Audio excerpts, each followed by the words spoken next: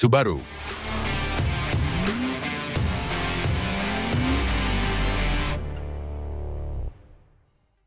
Xin chào, đây là Subaru Outback 2024 chiếc crossover hạng C hoặc wagon tùy vào quan điểm của bạn có mức giá lên tới 2,1 tỷ đồng. Một con số mà người ta hoàn toàn có thể nghĩ về những chiếc như là BMW S-Ride 20e M Sport hay là chiếc Mercedes GLC 200 Formatic. Tuy vậy thì với tôi đây lại là một mẫu xe có lý do tồn tại nó có sự xứng đáng, có những giá trị đặc thù nhất định và nói riêng về phần treo và lái thì thậm chí tôi tin rằng người cầm lái Subaru Outback hoàn toàn có thể so sánh nó với chiếc BMW X3. Ngoài ra thì một năng lực địa hình hết sức thú vị kèm theo nguồn gốc nhập Nhật là đã quá đủ để người ta đôi khi đến với sự đặc dị này. Còn nếu bạn muốn tò mò biết về giá trị tổng thể của mẫu xe này mang lại thì chúng ta sẽ cùng khám phá ngay bây giờ trong mười mấy phút tiếp theo của video in-depth review Subaru Outback.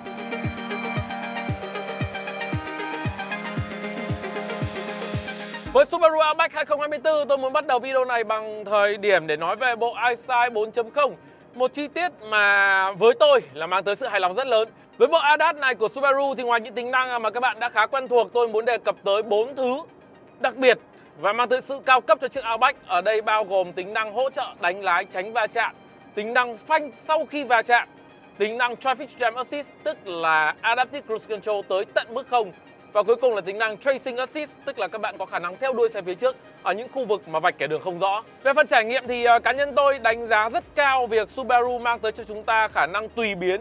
Với Adaptive Cruise Control ở đây các bạn hoàn toàn có thể tùy chọn để mẫu xe này tăng giảm tốc mượt mà hay tăng giảm tốc một cách rất nhanh.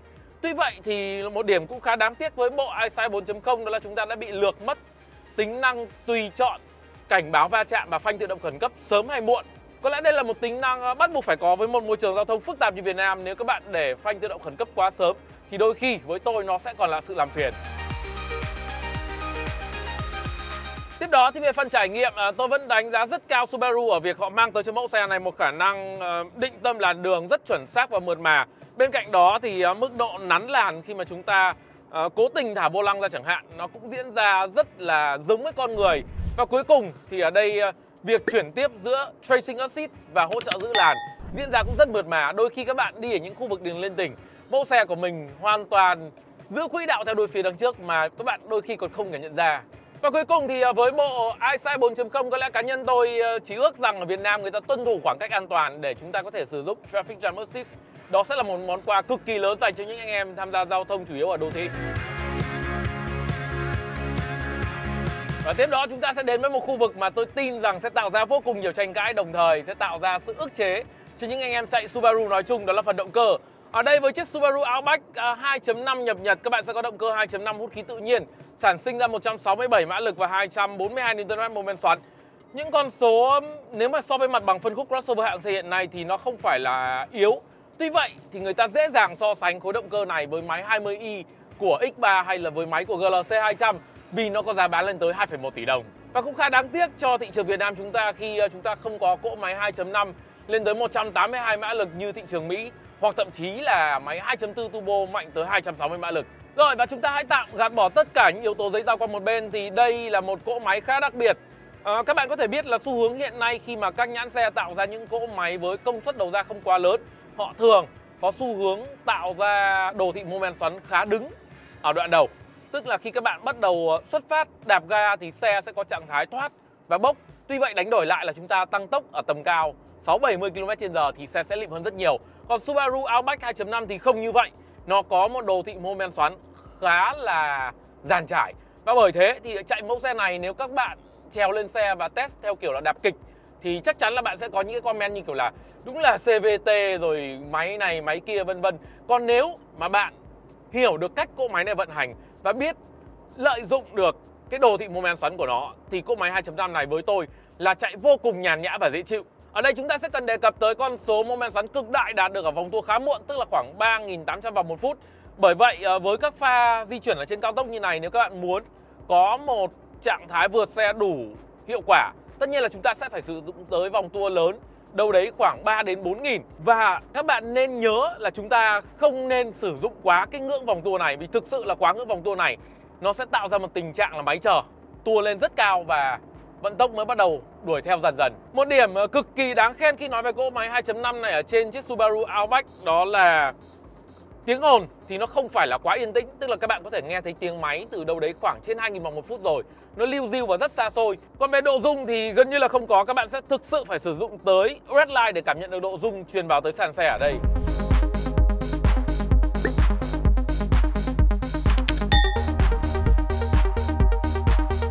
Ngoài ra thì à, còn một cái cảm nhận khác rất đáng nhắc tới đó là với những cái pha ép tôi như tôi vừa nói chạy trên cao tốc 5B và chúng ta phải vượt ở vận tốc 110 km/h như bây giờ chẳng hạn thì cái cảm giác mà các bạn sử dụng tới 4.000, 4.000 rưỡi vòng như này cỗ máy nó vẫn có một trạng thái rất là mượt và dễ chịu. Chúng ta cảm nhận được lực máy từ từ đi lên chứ nó không có kiểu ọc ạch giống như một số cỗ máy yếu kém. Và cuối cùng thì có lẽ sẽ rất nhiều anh em nói tôi là tại sao ờ, không sử dụng ờ, chế độ S ở đây. Rất tiếc là nếu các bạn đã được nhìn thì ờ, Subaru thường hiển thị chế độ S ở đây là một đường đặc tính được thay đổi. Nhưng với trải nghiệm cá nhân tôi thì đường đặc tính của cỗ máy này không hề thay đổi mà chế độ S ở đây chỉ đơn giản là giữ tua cao sẵn để các bạn dễ dàng chạm tới cái giải vòng tua có mô men xoắn lớn thôi. Nhìn chung là cầm lái chiếc Subaru Outback mà kỳ vọng là nó chạy kiểu nhông nhông như ngựa thì ờ, điều đó không diễn ra. Tuy vậy thì với tôi, về mặt tổng thể năng lực của cỗ máy này là ok, không có gì đáng để bàn cả. Và chúng ta sẽ tiếp tục kiểm nghiệm nó bằng những cái con dốc, những cái địa hình rất khó mà chúng tôi sẽ tiến hành ngay ở phần phía sau của video. Còn bây giờ là thời gian mà chúng ta sẽ nói về một điểm mà Subaru Outback thực sự là rất đàn anh so với chiếc Forester. Với chiếc Forester thì uh, nhìn chung tôi cho là nó đã thuộc diện 8 điểm nói về cảm giác lái ở thế giới xe phổ thông rồi. Còn chiếc Outback ở đây tôi sẵn sàng cho nó tới 9,75. Cho tới 10 thì có vẻ là hơi uh, quá cuồng mẫu xe này nhưng 9,75 thì là ok. Ở đây các bạn sẽ có một chiếc xe mà rất hiếm gặp. Chính xác là như thế. Ở thế giới xe phổ thông rất hiếm chiếc xe mà nó có mức độ bắt vào ngay từ giữa ngay từ trung tâm như thế này, các bạn chỉ cần đánh lái rất nhẹ như này thôi và cảm nhận được là chiếc xe nó lắc theo tay của chúng ta. Và mặc dù tất nhiên là bất cứ mẫu xe nào cũng sẽ có độ trễ ở khu vực trung tâm thôi, nhưng chiếc Outback thì mức độ bắt vào và tĩnh tiến của nó là rất sống động. Các bạn dễ dàng cảm nhận được cái chuyển động như thế này.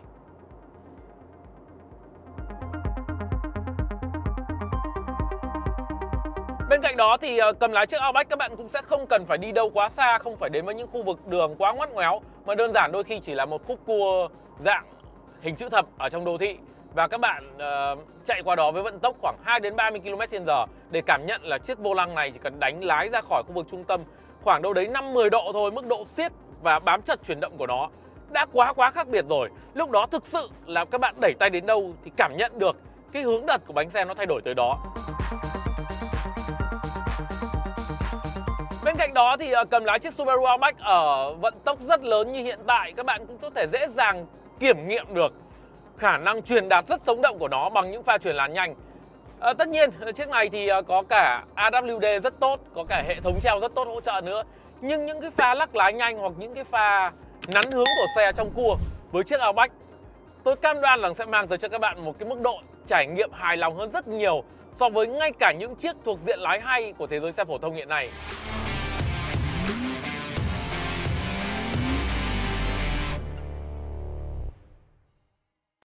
Và tất nhiên là ở trong một video in-depth review chúng ta sẽ không thể nào bỏ qua một chi tiết hết sức đặc biệt gây tranh cãi và tôi cho rằng cũng tạo ra sự đặc dị cho chiếc Subaru Outback đó là phần ngoại hình.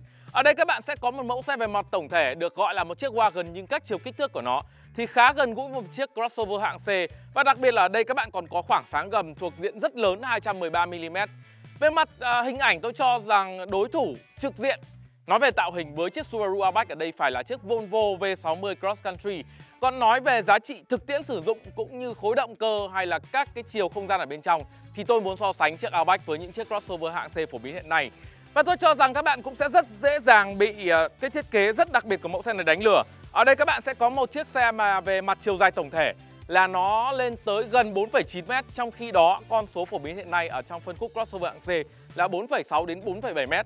Và như vậy, chúng ta sẽ rất dễ dàng nhầm tưởng đây là một chiếc xe có chiều cao thấp. Nhưng thực tế thì cả khoảng sáng gầm lẫn chiều cao tổng thể của Outback đều rất lớn. Với chiều cao này, các bạn có thể dễ dàng tưởng tượng ra nó giống với chiếc Mazda CX-5. Còn các chiều kích thước còn lại, ví dụ như là độ rộng tổng thể hay là trục cơ sở, thì nó gần gũi với nhiều chiếc crossover hạng C khác. Ở đây thì còn một điểm nữa mà tôi cho rằng cũng hết sức gây tranh cãi, đó là chiếc Subaru Outback, được gọi là wagon nhưng cái thiết kế đường mui của nó thì không hẳn là như vậy. Các bạn sẽ nhìn thấy nó không hề kéo dài ra tới tận phần đuôi xe và đổ thẳng xuống. Để tạo ra quá nhiều không gian mà nó vẫn có một cái chút cong nhẹ, một chút cúp hóa nhẹ ở đây. Và như thế thì với tôi, chiếc xe này nó có một sự hấp dẫn đặc biệt nói về mặt tạo hình. Nó mang một cái vóc dáng rất sẵn sàng địa hình và sự hung dữ của một chiến binh mà các bạn có thể cảm nhận thấy thông qua những cái phần ốp nhựa thể hiện tính chất sẵn sàng va chạm ở đây.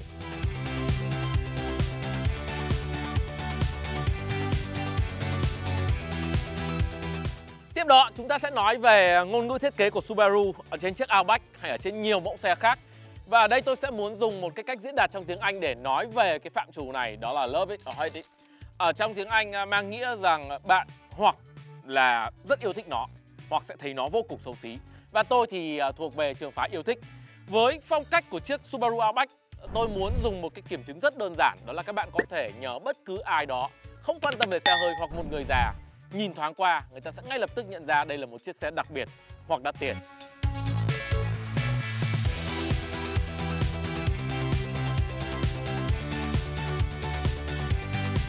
Cũng tương tự như là phía ngoại thất thì tôi tin rằng các bạn sẽ dễ dàng bị chiều dài tới 4,9m của chiếc Subaru Outback đánh lừa. Rất nhiều người sẽ nhầm tưởng rằng đây là một mẫu xe có vị trí ngồi không cao nhưng thực tế thì ngồi trong chiếc Outback các bạn có một tầm nhìn bao quát cực kỳ tốt nhờ vị trí ngồi cao Phần thiết kế mũi phía trước phẳng và dài giúp chúng ta dễ dàng nắm bắt được không gian ở đằng trước. Và đặc biệt là tôi đánh giá cao ô cửa sổ ở hai phía cột A cung cấp cho chúng ta thêm những tầm nhìn để off-road hoặc đơn giản chỉ là đi qua ngã tư.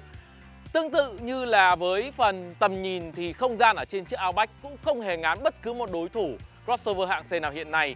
Nếu các bạn coi uh, tiêu chuẩn của phân khúc bây giờ là những chiếc như Territory, Sportage hay Tucson thì ở trên Outback các bạn cũng tìm được một không gian tương tự với khoảng để chân hàng hai lớn, độ ngửa lưng ghế lớn và đặc biệt là phần cốp phía sau cũng cực kỳ tốt.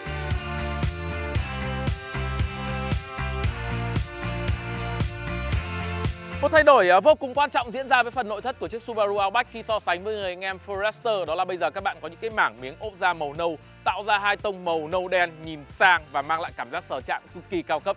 Bên cạnh đó thì mẫu xe này cũng có một phần màn hình kích thước lớn nằm dọc và đưa tất cả các chi tiết vào trong đây là một khu vực tất nhiên là nhìn rất trendy nhưng với tôi cũng sẽ có những điểm trừ nhất định. Và nếu các bạn có thắc mắc về mức giá tới 2,1 tỷ đồng của mẫu xe này có chi tiết gì đáng được gọi là sang thì với tôi ở đây các bạn có thể đề cập tới như bộ loa Harman Kardon cực hay, một bộ ghế có nhớ rồi chi tiết quét khuôn mặt để nhận diện profile của người lái. Một tính năng mà nếu nghe qua thì các bạn cảm tưởng như nó mang tính chất trình bày nhiều hơn là thực tế. Tuy vậy thì thông qua quá trình sử dụng tôi đánh giá rất cao tính năng này. Nó giúp cho phần camera hồng ngoại có thể nhận diện được tới 5 người lái khác nhau. Thông qua đó ngay lập tức tự động đưa tất cả những setup về ghế, về điều hòa, về gương, về tất cả những chi tiết điều khiển ở bên trong về đúng với người lái đó.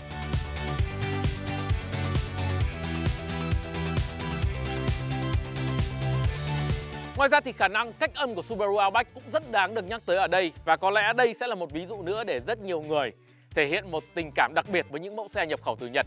Nếu so sánh với mặt bằng phân khúc crossover hạng C hiện nay, tôi sẽ không muốn đề cập tới những cái con đường quá cực đoan, ví dụ như trên mặt cao tốc 5B hay những mặt đường vỡ nát mà chúng ta hãy đề cập tới những cái mặt đường tương đối đẹp ở các khu vực liên tỉnh. Vận tốc khoảng 8-90 km/h cho Subaru Outback một cái không gian bên trong phải nói là sang hơn rất nhiều so với mặt bằng phân khúc. Tuy thế thì tôi vẫn cho rằng sẽ có rất nhiều người đặt ra câu hỏi về tại sao 2,1 tỷ đồng mà chỉ có bằng này đồ chơi. Chúng ta hãy tạm uh, gạt bỏ vấn đề đó qua một bên thì điều khiến cho tôi cảm thấy lấn cấn nhất khi tiếp xúc với nội thất của chiếc Subaru Outback nằm ở chính cái phần màn hình giải trí kích thước rất lớn và đưa tất cả các chi tiết vào đây. Nếu các bạn đã từng uh, cầm lái một chiếc Subaru uh, với thiết kế cũ với nút xoay chỉnh X1 ở phía bên dưới, bạn sẽ ngay lập tức nhận ra sự bất cập khi đưa X1 lên trên màn hình khi chúng ta đang chạy trên những con đồi với mặt đường mấp mô và cần phải tập trung kiểm soát về phía trước.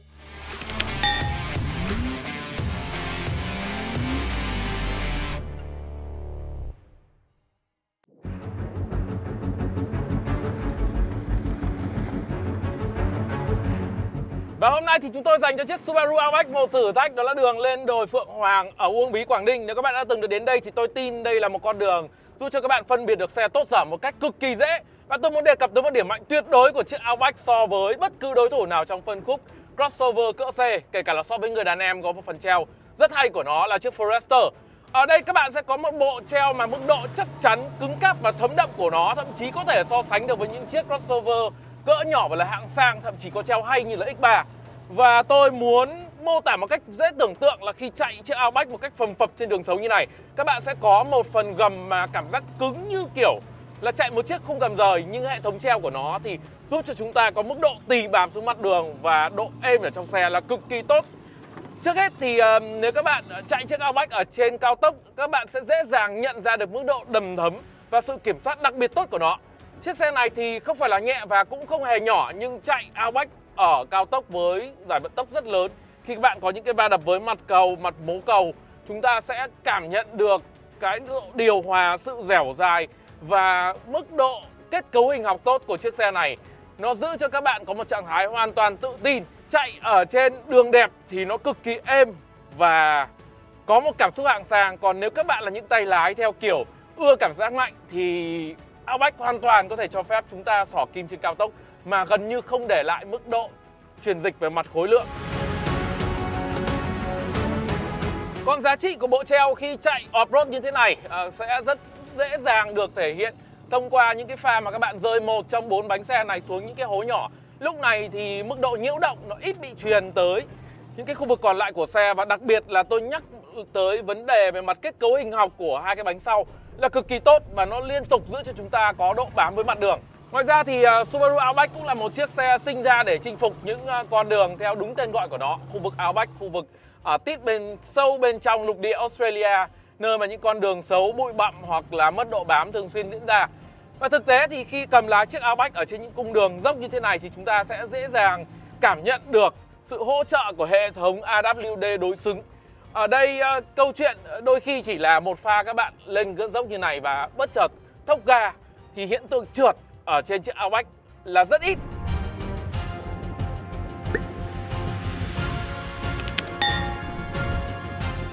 Ngoài ra chúng ta cũng sẽ phải đề cập tới câu chuyện hơi dài dòng một chút là tại sao khi chạy đường xấu như này lại cần một bộ treo cực tốt.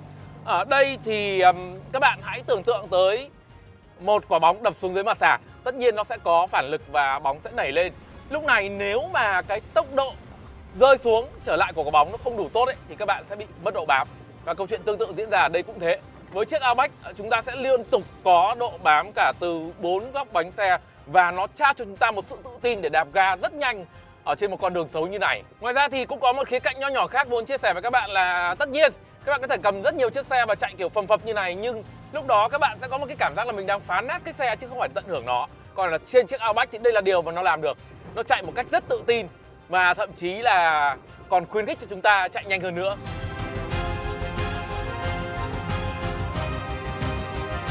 Tiếp đó thì ở đây ờ, có lẽ chúng ta sẽ bắt đầu đến một khu vực mà chiếc Outback này có một công cụ rất hay tôi muốn giới thiệu với các bạn ở đây đó là phần camera quan sát à, khi các bạn đi lên những con dốc quá cao thì tất nhiên là chúng ta sẽ bị mất tầm nhìn ở phía trước khi đổ sang cái đỉnh dốc phía bên kia cái và lúc đấy thì các bạn sẽ buộc phải sử dụng một cái thứ rất là hữu dụng ở đây, đó là camera quan sát phía trước với cái tình huống trước mặt thì chúng ta sẽ có một cái vết đứt gãy rất sâu và thực sự là nếu mà không có cái camera này hỗ trợ thì khả năng các bạn bị kẹt gầm chiếc Outback ở lại ở đây là rất cao Mặc dù khoảng sáng gầm của chiếc này cũng như là góc tới góc thoát của nó đều rất tốt so với thế giới crossover, nhưng mà tình huống này thì cũng không hề dễ dàng cho lắm. Bạn cũng phải hết sức bình tĩnh để có thể qua được. Thử thách tiếp theo của chiếc Subaru Outback ờ, với tôi sẽ là con dốc ở trước mặt. Con dốc này ờ, có lẽ nó phải rơi vào khoảng hai mươi mấy độ và có một phần đất rất trơn. Lúc này thì cái hệ thống AWD của chiếc Outback cũng như là khối động cơ này sẽ được thử thách. Đương nhiên là tôi vẫn giữ quan điểm mà khối động cơ này không phải là một khối động cơ quá dư giả, nhưng nó được việc và nó giải quyết được đúng cái nhu cầu của chúng ta. Con dốc này thì ờ, với tôi có lẽ một số anh em mà chạy các mẫu xe kiểu cào cào mà đi không có kỹ năng là cũng không thể lên được. Thực sự là như thế vì nó rất dốc. Ở đây chúng ta sẽ phải sử dụng tới một giải vòng tua rất cao để duy trì được mô men xoắn. Và như tôi đã chia sẻ phía trước thì một ưu điểm cực kỳ lớn cần nhắc tới của cỗ máy 2.5 này đó là nó rất êm. Các bạn chạy 4 5 nghìn vòng như này vẫn cảm thấy rất là bình thường. Và tất nhiên rồi, nếu các bạn nhìn được quan sát phía ngoài thì sẽ thấy các bánh bắt đầu quay vận tốc rất khác nhau rồi Vì độ dốc quá lớn nó tạo ra một cái lực tì lên hai bánh phía sau và hai bánh phía trước sẽ bị mất độ bám khá nhiều Lúc này sẽ cần một cái sự phân bổ khối lượng chuẩn chỉ hơn. Và chúng ta sẽ nhìn thấy cả hệ thống ờ, cân bằng điện tử đã phải can thiệp rồi nhưng mà không sao vẫn đang lên một cách rất từ từ. Con dốc rất là khủng khiếp nếu các bạn có được ờ, quan sát ở phía bên ngoài. Nhưng ờ, áo thì hoàn toàn có thể làm được và nằm trong giới hạn của nó chứ không phải chúng ta đi cố.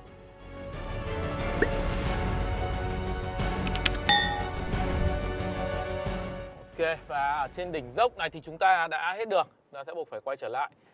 À, với chiếc Subaru Outback thì ờ, quan điểm của tôi đó là các bạn mà mua chiếc này về thì phải chạy đúng với cái tên của nó. Đó là phải chạy đến những vùng Outback những cái vùng mà những con đường hoang dã như trước mặt của chúng ta đây và phải tạo ra một chút thử thách với hệ dẫn động AWD này. Còn nếu các bạn chỉ chạy nó như một chiếc xe kiểu đi loanh quanh đô thị đón con thôi thì quả thật là rất phí. Ở đây tôi sẽ vẫn phải đề cập tới việc là CVT tất nhiên nó vẫn là CVT các bạn sẽ không thể kỳ vọng nó có những cái pha kiểu bứt phá giữa dốc này theo kiểu giật giật về một vài cấp số và bắn lên được nhưng ờ, CVT của Subaru nói chung với tôi cũng giống như Honda là những hãng làm CVT tốt. Nó không bị hao hụt nhiều cái lực kéo rồi các bạn có muốn thay đổi vận tốc ý, thì nó cũng đáp ứng được một cách ở giữa con dốc này nhá vẫn có thể thay đổi vận tốc một cách uh, thong thả thì được nhưng không thể thay đổi kiểu kịch một cái được.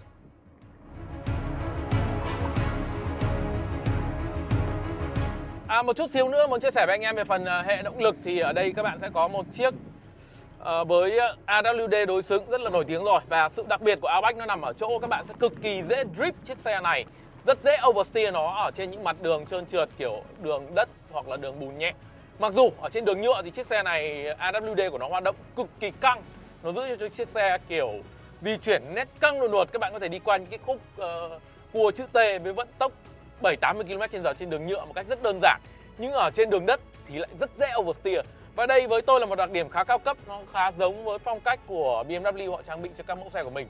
Những chiếc ờ, uh, BMW mà cao cấp các bạn sẽ dễ dàng quăng đuôi được nó. Còn uh, xe thông thường thì đôi khi chúng ta sẽ phải can thiệp một chút xíu. Ok, thử thách tiếp theo dành cho chiếc Subaru Outback sẽ là con dốc ở đồi cỏ này. Và các bạn sẽ nhìn thấy một cái địa hình khá hay đó là chúng ta sẽ có một cái uh, một cái vách nghiêng, một cái vách nghiêng rất tự nhiên. Vừa rồi chúng tôi có leo cái dốc vừa rồi nó rơi vào khoảng à, hai mươi mấy độ lên đấy, còn đây thì địa hình sẽ khó hơn rất nhiều.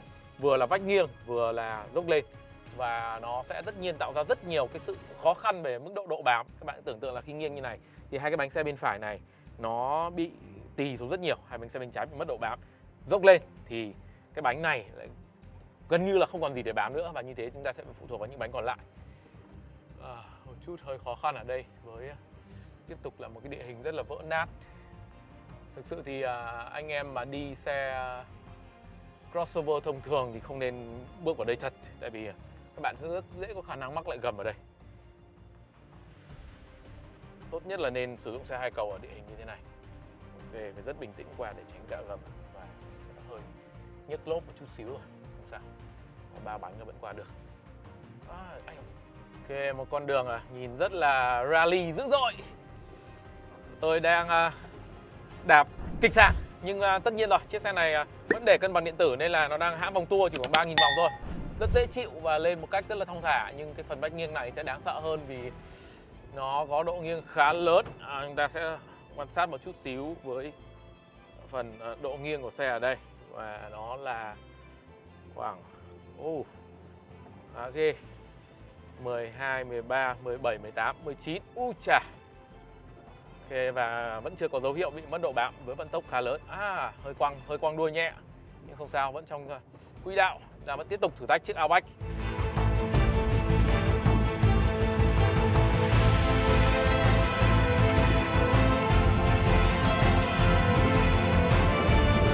Và với những cái tình huống ờ, rất cực đoan như tôi vừa trải nghiệm thì các bạn mới thấy được cái giá trị của một chiếc sẵn sàng địa hình một cách đích thực như chiếc Outback. Nó vừa có dốc nghiêng một bên nó vừa dốc lên trên. Và chúng ta vẫn duy trì được tốc độ khá tốt. Không có gì đáng sợ lắm. Không có hiện tượng mất quỹ đạo ở đây. Ở đây mới là con đường dành cho Subaru anh.